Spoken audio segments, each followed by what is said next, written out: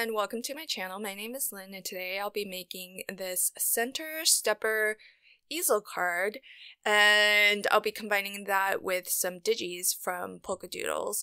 I'll leave links to everything that I use in the description box below in case you want to check anything out for yourself, but I have to admit that I'm not 100% certain if I am assembling this uh, center stepper easel card as designed, but the great thing about these sets is that you can really just kind of play around, see what works for you, and um, and I thought that this this looked nice, so I'm going with it. The die set has one die that will cut out the card base. That's what is on um, the left here. And then there's a separate die that will cut out this, um, what I'm using as the easel stand. There are two scored lines on that piece. One looks like a uh, glue tab because it has those mitered uh, edges or corners to it. And then on this side of, uh, or this edge of that die cut, there's a more finished rounded edge lip.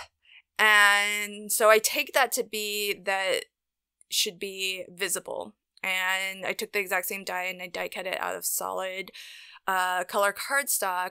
And that's sort of going to be my um, stopper for the easel so that when you prop this up right, um, the card doesn't continue to want to kind of expand and um, collapse down flat, but rather that easel stopper will keep it um, upright as a tentfold.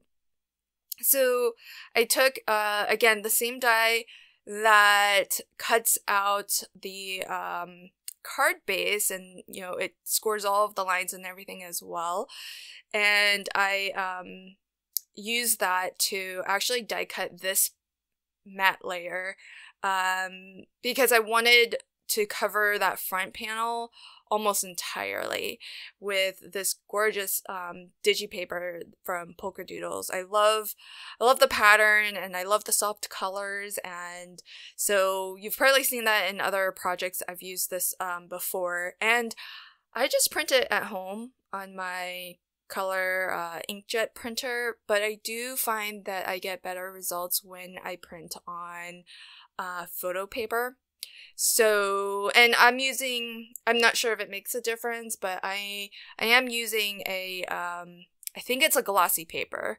So, I don't know if, um, you get better results using a matte paper, but I just happen to have this photo paper that I don't ever used to print photos, but I've found that I get really, really good um, results when I print out my um, digi papers or pre-colored images um, print beautifully on this paper as well. So I don't know what it is about the paper or maybe the settings that the uh, computer automatically chooses because when I go to print, I do change the type of printer or the type of paper that I'm printing on. And I think that is important because there are different settings that your computer will um, will choose depending on the type of paper that you are printing on. So I always recommend whatever um, whatever paper you use, try to see if your printer has a way of selecting that type of paper so that you can uh, be certain that it chooses all the right settings to handle that. I've got also this smile die cut that I just think is really perfect to, uh, to match with this digi um, of Winnie. I've already colored her in because I didn't want the video to be super, super long. But uh, I just think it's really cute how she's kind of pointing to her own smile. And I thought this would make for a good card to send to somebody who maybe just needs uh, a little bit of uplifting and um, you know want somebody who maybe you want to put a smile on their face. And so i just think this is a super cute um digi image. And she's super fun to color too. I i love um i love the winnie digis because they have so much hair.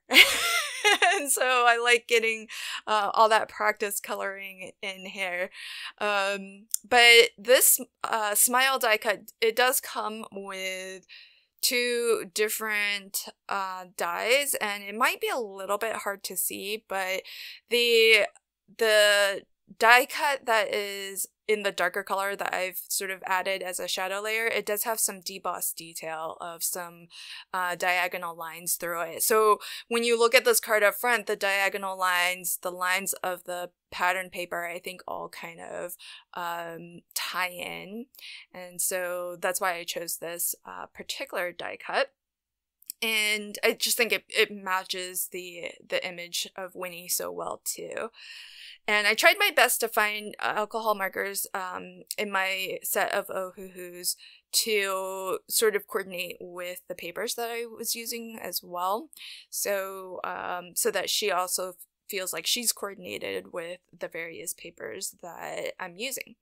And I initially thought that I would center her on this easel card to really kind of make her the star of this card, but when I tried to do that, I couldn't find a good place for the smile sentiment, and at least it just wasn't obvious to me where where to put it given given the scale of um, the die cut word. So I decided instead that I'll actually just go ahead and um, put her off to the side here.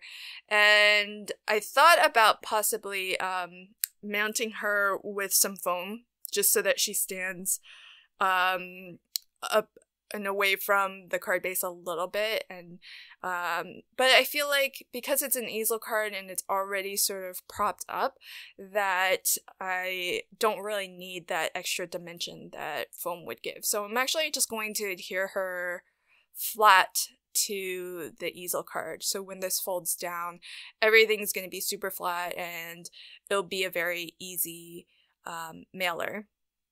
And I, um, since I did print this on um, slightly heavier cardstock, I think it was 80 pound cardstock, um, and I tried to use the Hammermill Super Smooth Ultra White uh, digital premium color copy paper when I know that I'll be using alcohol markers to do my coloring. I find I get really good um, blending using that paper. And in the digi, there's also some images of these cute little butterflies. So I just sort of fussy cut that out separately.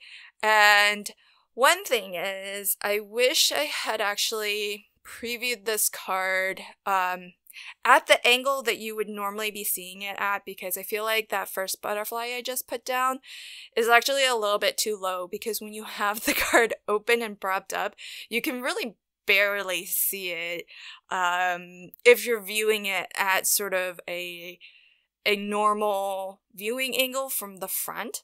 So that would be my biggest tip is, you know, just preview things at the angle that you think it's going to be seen at um, most of the time. But there you can see it folds down nice and flat.